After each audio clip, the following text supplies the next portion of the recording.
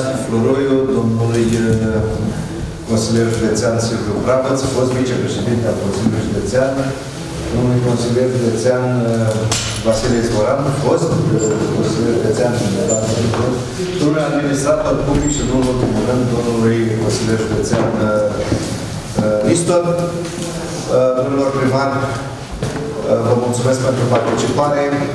Astăzi e o zi extrem de importantă pentru noi toți, pentru, nu doar pentru cei de față, și pentru locuitorii de pe Valea Zeletinului, de, de pe zona de est. Faptul că astăzi putem marca, putem marca închiderea unui proiect extrem de important, un proiect extrem de important pentru județul Bacău și mai ales pentru zona de est, un proiect gândit și pus pe hârtie în anul 2015 de către domnul președinte Benea, atunci președinte al Consiliului Județean și domnul vicepreședinte, atunci domnul Ionel Floroiu, și semnat uh, ca și contract de finanțare în anul 2019, iar uh, contract de execuție pe trei loturi semnate și puse, dat drumul la uh, execuția lucrărilor undeva în iunie 2020. Iată că astăzi putem spune pe data de 9 decembrie că un proiect extrem de ambițios, un proiect care leagă neamțul de Francia, ce trece prin uh, uh, localitățile de pe zona Văii Zeletinului și nu, și nu numai pentru că și Codinul Tutorul, dacă nu greșesc, uh, să o iau într-o ordine, Dămienești, Negri, Traian, Secuieni, uh, Colonești, Izvor Bergheciului, Colonești, Motoșeni, Răchitoasa, Motoșeni, uh, Glăvănești și Podul Turcului, traversează extrem de bine această zonă și pune și în evidență zona, dar mai ales uh, ar, uh, arată că se mai poate, se poate construi și un proiect care nu ține doar de asfaltări, nu doar e o simplă asfaltare, este un proiect extrem de complex. Am să vă prezint uh, așa ca un rezumat de ceea ce înseamnă complexitatea lucrării, câte podețe, câte poduri, câte sprijinituri de, uh, de maluri au însemnat acest proiect. Iar uh, faptul că astăzi putem să spunem că ne-am încadrat în termen un uh, proiect din exercițiu financiar 2014-2020. Astăzi, 2023, s-a finalizat și nu doar faptul că s-a finalizat, dar mai mult faptul că am absorbit toate fondurile europene uh, nerambursabile de pe acest proiect. Uh, o sumă impresionantă. Valoarea totală a proiectului este de 46 de milioane de euro. Iar uh, partea suportată de noi de cofinanțare este de 5% și o parte din cheltuielile neeligibile, dar care țin de ordonanța 64, undeva într-un procent de, se plică undeva într-un procent de maxim 20%. Iată că uh, acest proiect, care la un moment dat uh, a avut sincopele lui și datorat faptului că am trecut prin pandemie, creștere de prețuri, Evident că am fost, influen am fost influențați de uh, războiul din Ucraina, care a generat o instabilitate a constructorilor, a materialelor pe, uh, pe piață, dar care nu ne-au oprit. Am avut, evident, și probleme în execuția lucrărilor și știu că trecând din zona Motoșeni către podul Turcului au existat nenumărate nemulțumiri pentru modul de, uh, pentru viteza de execuție a unor lucrări, dar iată că ne-am mobilizat, am reușit la un moment dat să, să reziliem contractul care ne, în care întâmpinam probleme și un constructor bun, un constructor asumat, un constructor care a făcut și prima parte, lotul 1 al acestui proiect, a reușit, printr-o mobilizare exemplară, să facă ca și astăzi, să putem spune că acest proiect s-a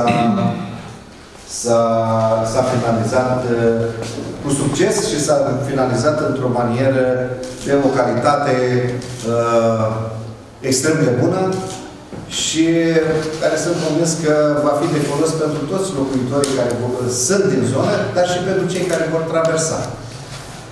Uh, aș vrea să vă prezint anumite date tehnice ca să avem o, măcar o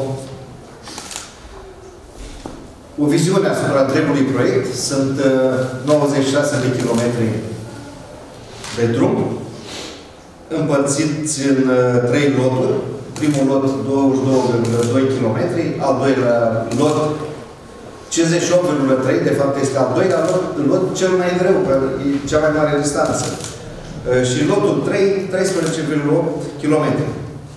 Asta înseamnă 187 de podețe înlocuite per total, 91 de potențe deformatate, 17 poduri cu infrastructură și suprastructură reabilitată, 106 927 metri de șanțuri și rigore executate, 56 711 metri de parapete protecție montați, 210 km de marcaje executate și 3897 de indicatoare rutiere montate. Cred că aceste cifre arată complexitatea lucrării eu n-aș vrea să vă rețin mai mult atenția decât la o prezentare generală. Aș vrea să-i dau cuvântul domnului director general a Sandei și, evident, o să pasez la față. Vă rog, domnule. Mulțumesc mult, domnule președinte, domnule președinte, domnilor primari. Mă gândeam că a trecut un pic de timp de când a fost gândit acest drum și cu toate eforturile depuse, cu toate piedicile întâlnite, iată, am ajuns la final. Este foarte bucurător, din mai multe motive. Odată că drumul ăsta răspunde unei nevoi foarte reale. Oferă posibilitatea de traversare a județului Bacău, dar conectează, ca să zic așa, toate comunitățile de pe traseu. În al doilea rând, ați văzut o lucrare complexă, cu multe aspecte tehnice, poate care nu se văd așa la o primă vedere. În al treilea rând, faptul că aș putea spune că am prins trenul cumva, pentru că în exercițiile de finanțare viitoare este mult mai dificil să avem bani pentru astfel de obiective. Pentru că la nivel european există o orientare firească într-o măsură ca o parte mai importantă din banii europeni să meargă către competitivitate, către dezvoltare economică, către a face față acestei competiții globale. Firesc, cu mie de miliarde de euro la nivel european contează și atunci uh, se orientează mai mult către zona de inovare, cercetare, competitivitate, către economie verde. Deci, posibilitatea de a finanța lucrări de infrastructură, drumuri, în speță, se reduce. Așa că și ar fi fost o foarte mare pierdere dacă nu reușeam să ducem la bun sfârșit un asemenea proiect. Uh, aș mai sublinia ceva, la, la momentul la care a fost gândit acest proiect și nu numai, uh, pentru că în regiunea noastră avem patru axe mari rutiere. Una e asta care leagă cumva uh, partea de est și de sud a Bacăului cu Piatra Neamț, o altă axă rutieră care leagă Suceava de Iași, o alta care leagă Botoșani de Iași cu Vaslui de Iași. Deci aceste patru axe rutiere s-au dorit și împreună cu președinții Consiliului Județen de la acea vreme, domnul Benea știe foarte bine, ne-am propus să aducem o alternativă la infrastructura rutieră care nu era neapărat foarte dezvoltată, noi nici acum la, în regiunea noastră. Și a fost un efort mult mai mare. Să știți că dacă am fi făcut niște drumuri mititele, cum, mă rog, se putea, era mai simplu. Contracte mai mici, valori mai mici, execuții mai ușoare, însă ne-am asumat împreună să facem niște drumuri care răspund unei nevoi reale și care, chiar dacă știam de atunci că vor fi greu de uh, dus la capăt, pentru că e clar că apar cu asemenea valori, ați auzit uh, 40 de milioane de euro, 46 de milioane de euro drumul acesta. Deci a fost o asumare importantă din partea tuturor și iată că am ajuns la final.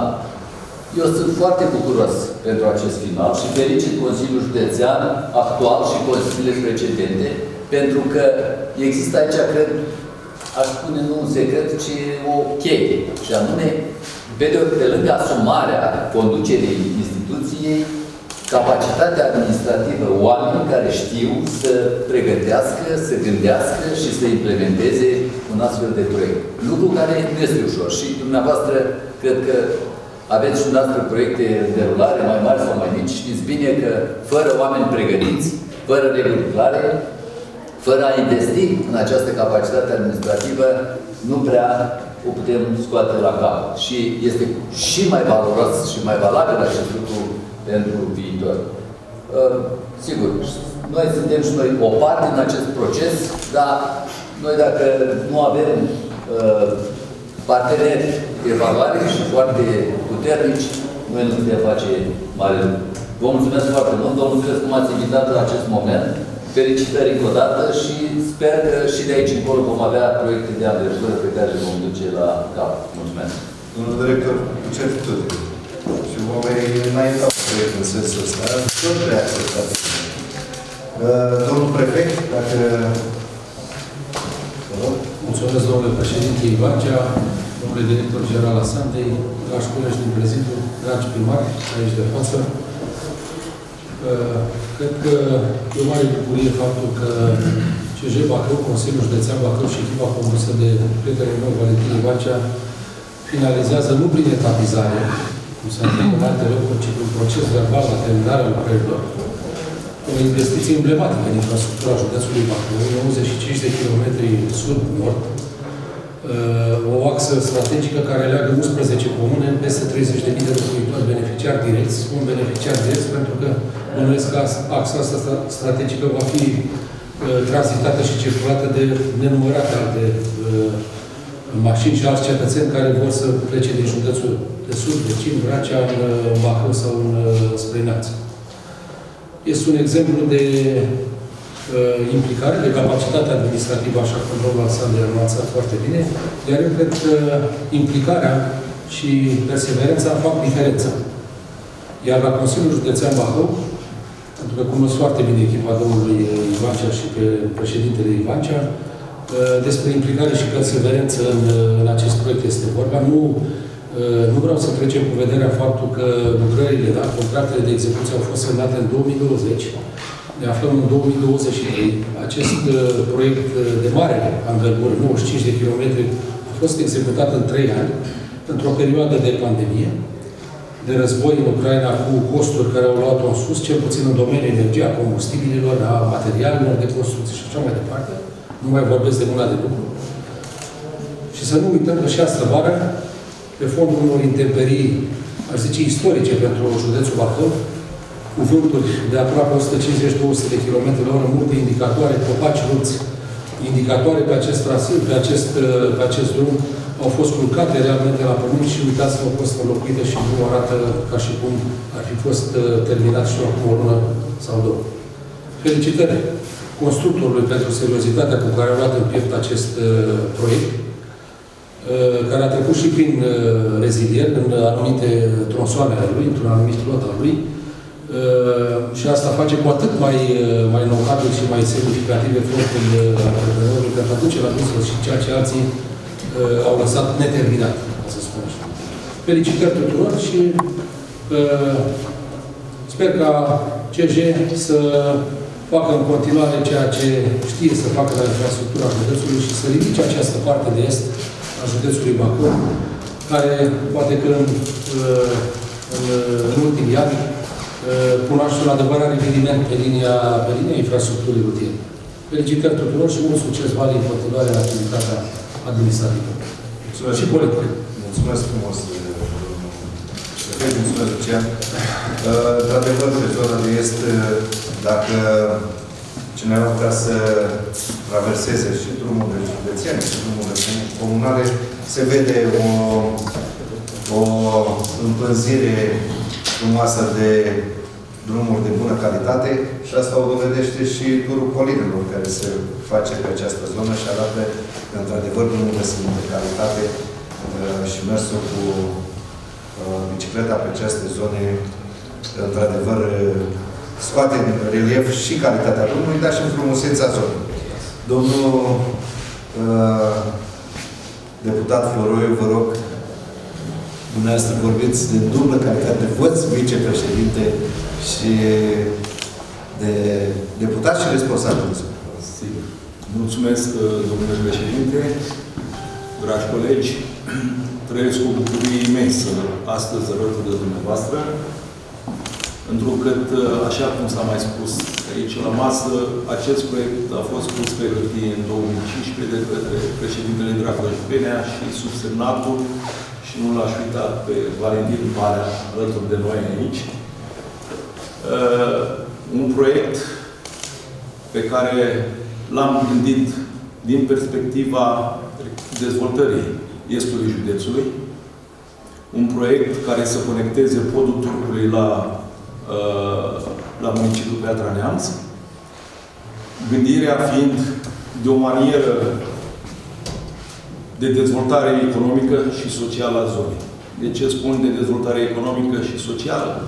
Pentru că sunt convins că în urma acestui proiect uh, de magnitudinea care o vedem, va uh, reuși să dezvolte și va reuși să aducă acasă fiii risipitori de prin, de prin uh, Occident. Vom reuși, sper eu, să oprim depopularea zonei, măcar să o oprim, dacă nu reușim să, uh, să se populeze într-un ritm mai, mai bun. Și faptul că putem să atragem uh, investitori în zonă, investitori mai mici sau mai mari, depinde de oportunitățile pe care le oferă zona de est, întrucât ele sunt mai mult pe zona agricolă, dar speranța mea este că această zonă atât de, de, de frumoasă, atât de uh, generoasă, cu locuitorii din această zonă, să ofere posibilitatea să se dezvolte în, uh, într-o manieră la care noi am gândit-o la momentul Uh, declanșării acestei investiții. Uh, vreau să felicit și eu uh, pe toți colegii noștri, pe tot aparatul administrativ de la Consiliul Județean. Vreau să felicit și fostul președinte al Consiliului Județean, Sorin Brașoveanu, și în special pe Valentin Ivancea. Vreau să îl felicit pe domnul președinte Dragoș Venea pentru tot sprijinul acordat echipei noastre și astfel am ajuns la un moment extrem de fericit astăzi să avem una dintre cele mai mari infrastructuri de drumuri județene implementate în județul Bacău. Acest 95 de kilometri care ajută populația de est să evite municipiul Bacău și să ajungă mai rapid de la Dămâienești, Cușești, Roma, la Teatră. Felicitări tuturor! Mulțumesc, domnul deputat. Domnule președinte, vă rog. Mulțumesc, domnule președinte. Am să, am să încerc să fiu cuprinzător și deloc plictisitor. Două, două drumuri județene mari presidează zona de est a județului. Ambele sunt finanțate din fonduri europene, ambele s-au realizat cu constructori din Bacău, ambele s-au realizat ca urmare a unor parteneriate și cu primarii din această zonă, parteneriate scrise punctual pe acest proiect, dar și un parteneriat uh, uh, de la distanță, dacă pot să spun așa, în sensul că pe lângă aceste drumuri județene, toate localitățile din această zonă, și nu vreau să le enumăr pe toate, s-au realizat uh, drumuri comunale pe fonduri europene, pe uh, pe fonduri naționale, pe buget local. Deci, uh, toată, din 2010 încoace până în 2013, în ultimii 12-13 ani, din punct de vedere a infrastructurii rutiere, zona de est a județului nu mai seamănă cu ce, ce era până în 2010. Drumul acela 252 care pleca de la Bubăș să lucra la Buruiești, avea 55 de km și realiza o firmă din Podul Turcului, firma domnului Murărescu. Acest drum este astăzi la finish, cu câteva zile înainte de finish-ul lui, de 31 decembrie 2023. Ca distanță e aproape dublu, valoarea e mare, dar noi nu dăm niciun, nu pierdem niciun euro datorită faptului că, totuși, președintele Ivancea și constructorul Băcăvan au expus în timp record, asta vreau să subliniez, într-un timp record au reușit să recupereze ceea ce alții au, uh, au, uh, nu au făcut nimic timp de un an și jumătate, doi, s-au pierdut în fel de fel de justificări, de explicații. E adevărat că au fost și crizele acelea suprapuse, ba covid ba uh, prețurile la materiale și, practic, acest tronson punea în pericol eligibilitatea întregului proiect. De la Roman până la... El are și componenta de pe zona de neamță. De la Roman până la, până la Podul Turcului faptul că, în, nu știu, în 6-7 luni, practic, constructorul și echipa de la Consiliul Județean au recuperat ceea ce alții au și-au văzut joc timp de un an și jumătate, este lucru cel mai demn de salutat și dacă am făcut-o și în alte ocazie și în momente mai complicate și nu în calitate de patriot de mucava sau de carton, am evidențiat întotdeauna că un constructor din Bacău uh, uh, a terminat lucrările la timp, de calitate și salvând banii europeni. Pentru că știm foarte bine că un proiect european, dacă nu este funcțional la termenul stabilit prin documentele care susțin acea, acea finanțare, riști să pierzi toți banii. De altfel, cum s-a întâmplat la insula de Agănă, am început Bacău, care a fost un proiect inițial pornind cu 50% fonduri europene și s-a finalizat uh, de contare din buzunarul Băcăoare. Spun acest lucru pentru că noi am început această săptămână și eu și colegii mei, domnul Ivancea și domnul Bugdănel, această săptămână cu o dezbatere foarte aprinsă la nivelul municipiului Bacău de felul în care se uh, absorb fondurile europene. Este o manieră foarte interesantă de a implementa fondurile europene, dar, sigur, uh, timpul le va de, developa și le va rezolva pe toate.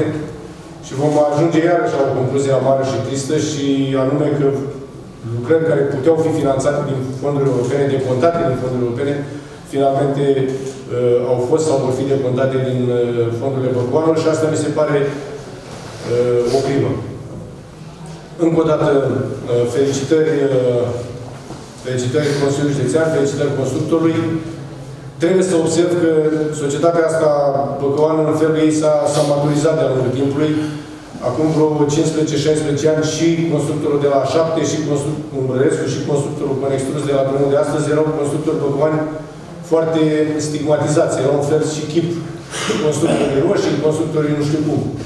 Între timp, constat că fel de fel de alte uh, personalități uh, politice încep să reevalueze, de la nivelul județului Bacău, refer, și în alte înghilimele, încep să reevalueze cele două, ba, ba chiar să, să aprecieze uh, munca aceasta, o muncă ce se întinde de-a lungul anilor, pentru că nu e greu, nu e ușor să ții muncitorii, să îi ții bine plătiți, să-i ții motivați, să-i ții în priză, să uh, lupți și cu birocrația, uneori și cu uh, condițiile meteo și să predai proiectele înainte de termen la cheie. Și acesta este un model de proiect de bună practică. Cum trebuie să atragi fonduri europene în timpul prevăzut de, uh, de lege. Altceva la ce să mai zic. Mă bucur că, repet, mă bucur că există o colaborare strânsă între uh, Consiliul Județean și primarii din zonă. Mă bucur că au venit astăzi aici. Toată zona asta, doar aceste două drumuri județene de care nu sunt străini și am, într-un fel sau altul, am participat la toate dintre ele, la, la, la istoria lor. Ele prind valoare și mai mare, având, fiind și ele conectate la drumul comunal care arată foarte bine drumuri cărmunare care s-au făcut tot cu ei primari, începuți cu constructori buni, cu, și repet, foarte multe cu fonduri, fonduri europene, fie că au fost uh, OIM, POR, fie AFIR, fel de fel de proiecte pe care primarii din această zonă au știut să le, să le atragă și să le, să le implementeze, spre deosebire de primari de la de municipii cu pretenții uh, mai mari. Și pretenții mai mari, doar, și doar, doar cu pretenții mai mari. Sper că n-am, n-am omis nimic, mă bucur. Este și aceste imagini sunt extrem de sugestive și pitorești. Este o zonă pe care mulți păcăani au redescoperit-o ca urmare a, a, a schimbărilor în bine în infrastructura rutieră. Uh, pot să fac și această destăinuire din sânul comunității de bicicliști din municipiul, din județul Bacău. Foarte mulți au început să o descopere, să o frecventeze, pentru că este mai, uh, mai, uh, are cifre de trafic mai reduse, o infrastructură impecabilă. Dacă vor apărea și punctele de, de agrement încet, încet, în diferite localități, zona va deveni cu, cu, cu adevărat extrem de atractivă. Felicitări constructorului, felicitări Consiliului Județean, să, să mai avem parte de asemenea momente. Mulțumim și ADR-ului, care a fost un partener corect al Consiliului Județean Bacău în, în toată această istorie de 15 ani de absorție de fonduri europene în această regiune. Da, mulțumesc, domnul președinte.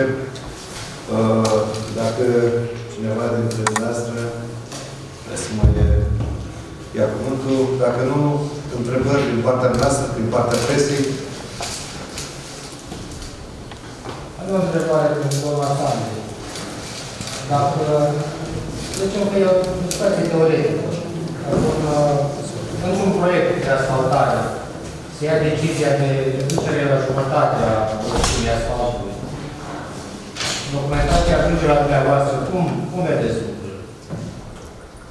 Păi, să ne înțelegem, pentru realizarea oricărui proiect, Proiectul însemnând o cerere de finanțare, există o documentație tehnică, respectiv un proiect tehnic. Acel proiect tehnic trebuie pus în operă, așa cum este el conceput. nu este admisibil ca realizarea unui proiect în practică să se facă în mod diferit față de ceea ce scrie în proiectul tehnic. Dacă se întâmplă așa ceva, evident că colegii mei care monitorizează proiectele astea semnalează aspectul, iau măsuri, opresc finanțarea, semnalează neregula, sesizează organele în drept și să ajunge, depinde de situație, unde să ajunge. Deci nu este o chestiune pe care noi, să spunem, o admitem. Nu e vorba de a admite noi ceva. Noi ne uităm la documentație, la documentele financiare contabile, la regulile proiectului și acestea trebuie respectate de tot. Și încă o întrebare, dacă sunt multe primării care, așa cum e cazul primăriei Bacău, să fi ratat toate proiectele de fonduri europene. Uh, proiecte ratate sunt, din păcate, acum la sfârșitul acestui exercițiu, deci exercițiu 2014-2020, se termină acum la 31 decembrie pentru că a beneficiat de acea perioadă N plus 3. Uh, acum, suntem în situația de a ne uita la toate proiectele și avem mai multe categorii. Proiecte finalizate, foarte frumos la drumul de astăzi. Există proiecte nefinalizate și acele proiecte nefinalizate sunt în mai multe uh, categorii. Pot fi proiecte etapizate, proiecte care au în anumite condiții șansa să meargă în următorul exercițiu o etapă, o parte din el, sigur, cu aprobarea sistemului, mă rog, format din autorități de mediu și așa mai departe, Proiecte care, dacă nu s-au terminat, vor trebui terminate pe banii beneficiarilor, cum spunea domnul președinte Benea.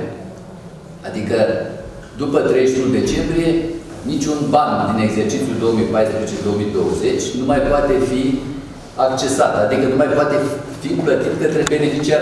E important de știut asta. Beneficiarul, respectiv o primărie, trebuie să facă plăți către constructor. Și asta trebuie să facă obligatoriu până la sfârșitul acestui an. Rambursarea cheltuielii de către program se poate face și ulterior. Respectiv până în martie anul viitor. Deci, dacă nu se întâmplă așa și să spunem că ai proiectul la 60-70%, ești obligat să termini pe banii tăi proiectul, fie în cursul anului 2024 pentru așa numitele proiecte nefinalizate și fie până în 2026 proiectele care se cheamă nefuncționale, proiecte mai de valori mai mari. Pentru că, până la capăt, consecința este că dacă nu termini proiectul pe banii tăi, dai toți banii înapoi. Uniunea Europeană nu finanțează proiecte neterminate, care nu-și aduc, nu nu-și fac uh, treaba, nu au impact. Da?